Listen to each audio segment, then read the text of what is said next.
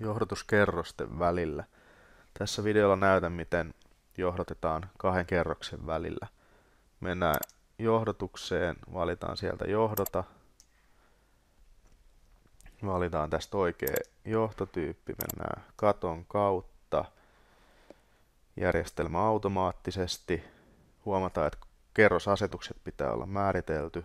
Niistä on erillinen ohje, minkä voi katsoa, jos näin ei ole. Sitten valitaan johdotustyyppi 3 kertaa 1.5 tässä tapauksessa.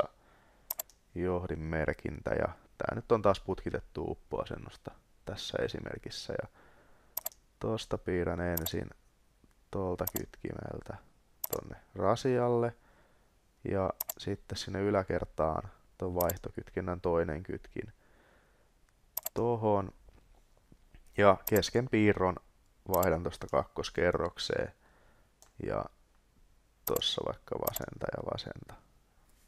Näin. Sitten eskiä ja painetaan vaikka tuossa vasenta ja oikeeta. Siirry viittauksen toiseen päähän ja se löytyy täältä tässä kerroksessa. Ja tässä samalla tavalla vasenta ja oikeeta. Siirry viittauksen toiseen päähän, se löytyy täältä. Eli kerrosasetukset pitää olla kunnossa jos ei ne ole, niin näin ei pysty piirtämään.